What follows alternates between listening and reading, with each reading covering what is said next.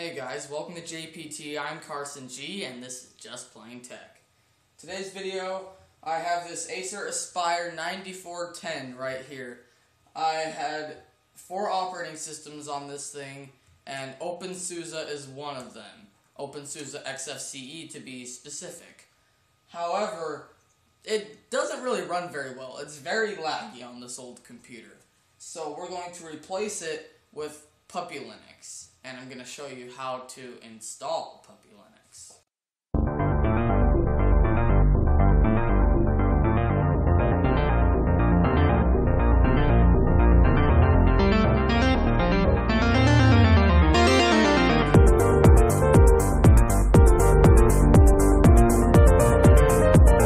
The first thing you're going to need is a Puppy Linux flash drive. A flash drive with a Puppy Linux live CD on it.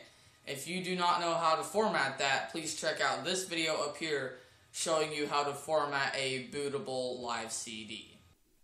Alright, here we are on our Puppy Linux live CD. We're just going to go to Menu, System, Gparted. We're going to prepare the partitions before installing the system. And we're going to do it with gparted. Unless you want to do it through the command line. But I'm going to do it through G parted.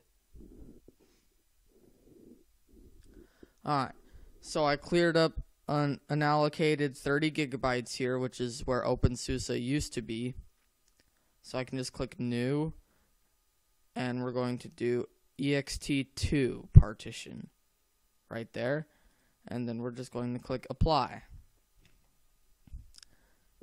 and that should be done within a few seconds. I'll get back to you when it's done. Okay, it's done. So now we can just click close, drag gparted over here. We're going to go to applications, setup, puppy installer.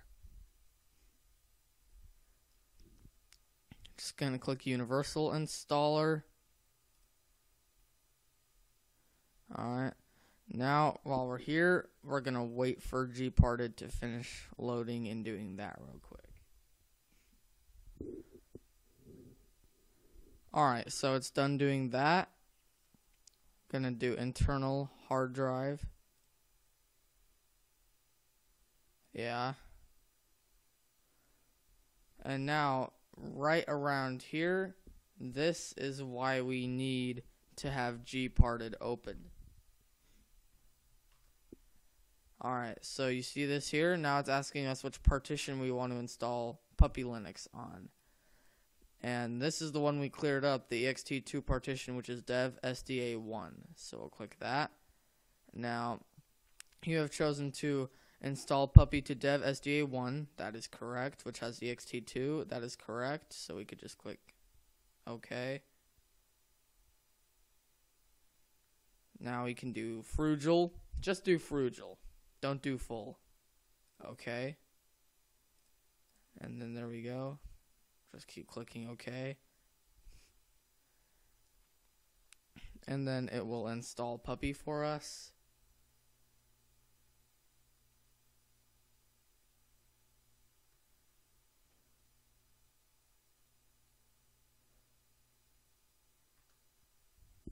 I'll get back to you in that.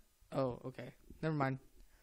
So it'll ask us, do we want to install Grub for DOS? I already have Grub on here, and in tomorrow's video, I'll show you how to add Puppy Linux to Grub. But for now, just click no, because I don't want that. I already have Grub. Okay, now it's all done. Just close that out, close this out, and there, you have Puppy Linux installed. Thank you guys so much for watching this video. Please make sure to subscribe if you haven't already, and I'll see you in tomorrow's video.